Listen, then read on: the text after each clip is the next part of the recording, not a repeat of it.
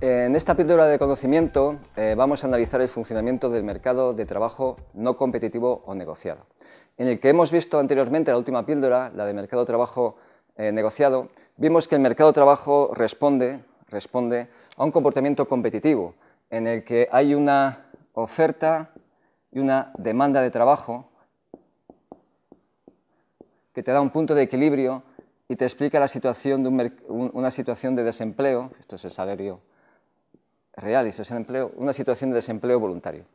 ¿Cuál es el problema? El problema es que, eh, sobre todo en Europa, eh, más que en Estados Unidos, en Europa el desempleo es muy superior al desempleo voluntario, sobre todo en los tiempos que hemos vivido. Entonces, eh, el mercado de trabajo no competitivo explica mejor esas situaciones en las que hay desempleo voluntario e involuntario. Y esa es la razón de ser de que este modelo también tenga una especial importancia.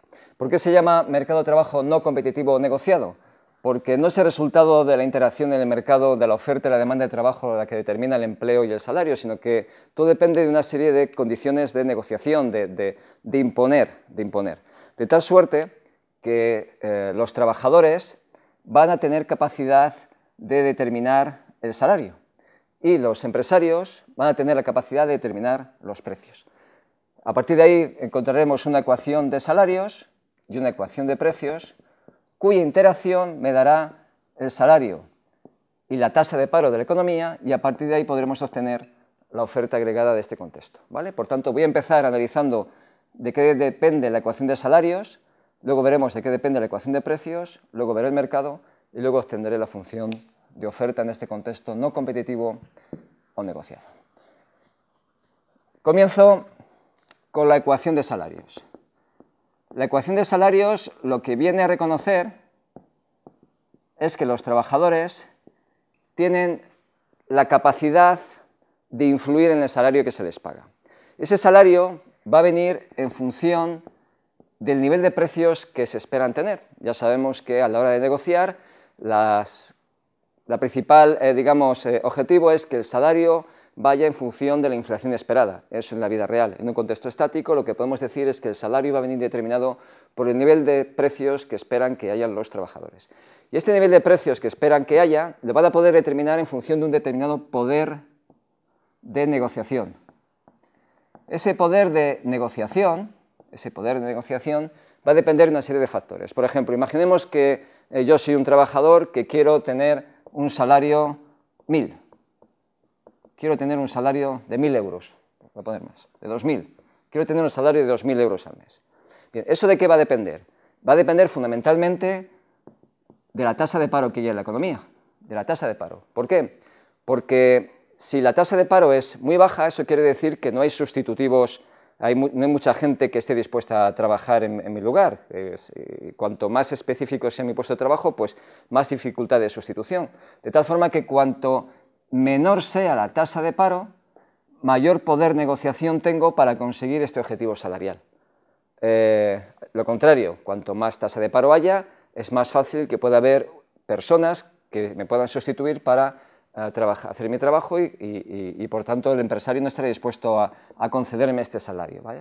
Y después, em, depende, voy a utilizar un término muy americano, mi poder de negociación como trabajador va a depender de las rigideces del mercado de trabajo. Las rigideces del mercado de trabajo, en términos, insisto, eh, economicistas y desde un punto de vista muy americano, porque es lo que utilizan para caracterizar el mercado de trabajo eh, europeo, eh, son aquellos factores que hacen que los trabajadores puedan conseguir mayores salarios para cualquier tasa de paro. Por ejemplo, em, cuanto mayor es el coste de despido, más fácil es que un trabajador pueda conseguir un mayor salario. Cuanto mayores son las prestaciones por desempleo,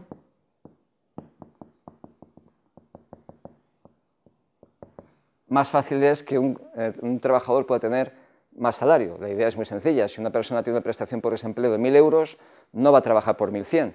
Sin embargo, si tiene prestación de desempleo de 400, pues a lo mejor sí.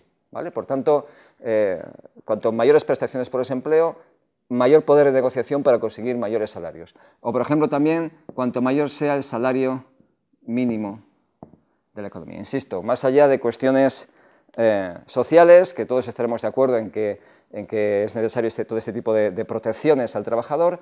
Desde un punto de vista estrictamente económico, para explicar el poder de negociación, eh, cuanto mayores sean estas rigideces, más poder de negociación, más fácil es conseguir subidas salariales. Todas estas rigideces lo vamos a representar con la letra Z, de tal forma que estos aumentos se reflejarían en un aumento de la variable institucional Z. Es una variable que representa la rigidez del mercado de trabajo. De tal forma que si intento eh, representar eh, este poder de negociación, yo podría poner una función, por ejemplo, como esta, donde se ve que cuanto mayor es z, por cualquiera de estas causas, mayores van a ser los salarios que van a conseguir los trabajadores porque mayor es su poder de negociación, y donde se ve donde menor es u, la tasa de paro, cuanto menor tasa de paro, mayor posibilidad tenemos de tener mayores salarios. Alfa es un parámetro que representa la sensibilidad de la tasa de paro, pero la sensibilidad de los salarios respecto de la tasa de paro. Si esta expresión la convierto en términos reales, añadido por el nivel de precios, aquí tendré el salario real de la economía que viene determinado por esta expresión. Eso es la ecuación de salarios. La ecuación de salarios que voy a representar de esta forma. Salario, empleo, la relación es negativa. Ecuación de salarios. Esta ecuación de salarios muestra la relación negativa entre el salario real y la tasa de paro, que podría, se demostraría que esto se puede convertir sin problemas en una relación positiva entre el salario real y, la, y el nivel de empleo de la economía. Si os fijáis, esto sería algo parecido a la oferta de trabajo, algo, algo similar. Bien, y que decir tiene que esta ecuación de salarios se va a desplazar hacia arriba si aumenta z y si aumentan la relación entre los precios esperados y el nivel de precios de la economía. Todo eso es lo que, lo que hace que los trabajadores puedan conseguir para cualquier tasa de paro mayores salarios. Y después la propia función de ecuación de salarios demuestra que cuanto mayor es la tasa de paro, menores salarios. Vale, esto con respecto a la ecuación de salarios. Ahora vamos a analizar la ecuación de precios.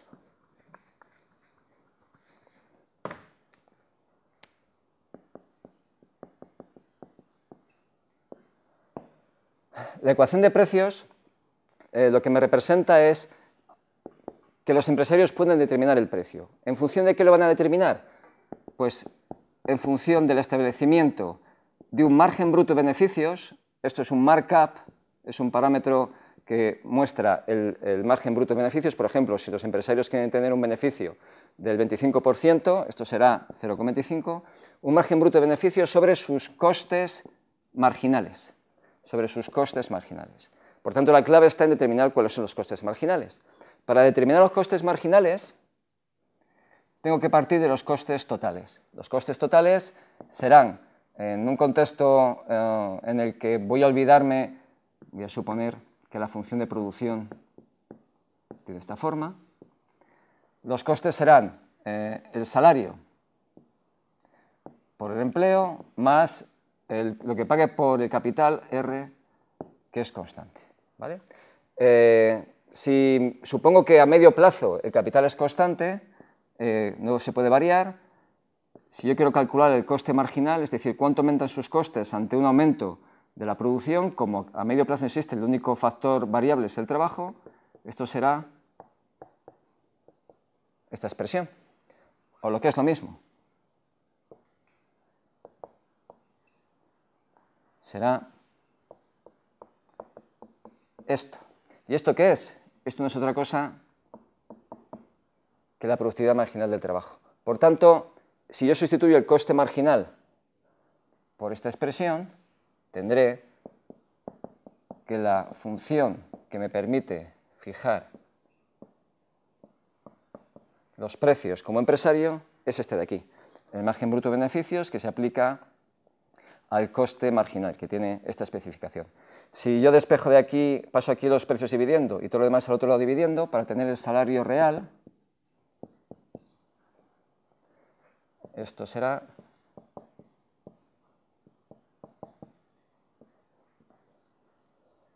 Esta será la ecuación de precios de la economía, con lo que va a depender todo de cómo sea la función de producción. Si por simplificar, si por simplificar considero que la función de producción es lineal, me olvido del capital porque es una constante, le, puedo dar un valor cero eh, a medio plazo, puedo considerar que la función de producción es lineal puede tener una forma como esta, por ejemplo. En este caso, la productividad marginal del trabajo es la constante A.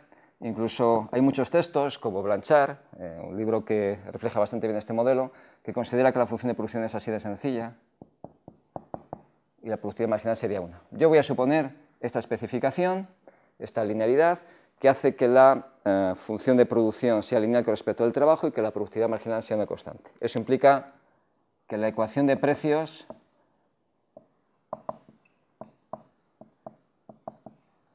es esta expresión.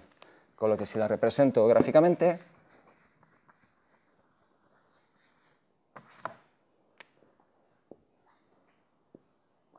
esta será la ecuación de precios, esto será el salario, esta es la tasa de paro. Esta ecuación de precios se desplazará hacia arriba si aumenta A, que es la productividad marginal del trabajo, y si se reduce el margen bruto de beneficios. Y también se podría ver claramente que esta ecuación de precios que relaciona salario y empleo tiene una expresión análoga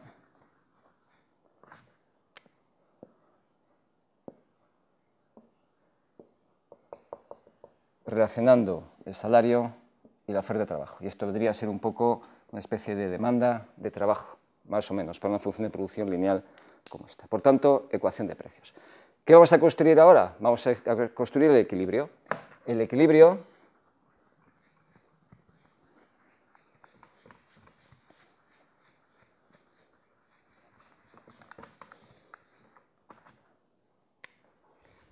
el equilibrio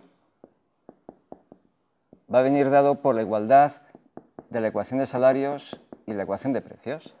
La ecuación de salarios ya hemos dicho que es esta expresión. La ecuación de precios, ya hemos dicho que es esta otra.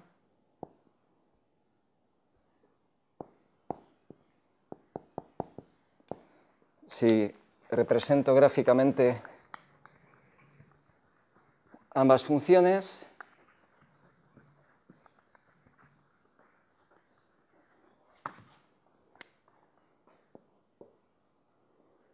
tendré, esa es la ecuación de precios, esta es la ecuación de salarios, el equilibrio viene dado por este punto. ¿Vale? Viéndose con claridad que el salario real viene determinado por la ecuación de precios y que la tasa de paro va a venir eh, determinado fundamentalmente por la ecuación de salarios, sabiendo que esta tasa de paro será de equilibrio a corto plazo en el sentido de que sea cualquier corte entre la ecuación de salarios y la ecuación de precios, y que será una situación de equilibrio de medio plazo cuando los precios esperados coincidan con, con los precios. Esta situación en la que los precios esperados coincidan con los precios va a hacer que la tasa de paro de la economía sea la tasa de paro natural, que insisto es la que es compatible con el modelo en una situación de medio plazo.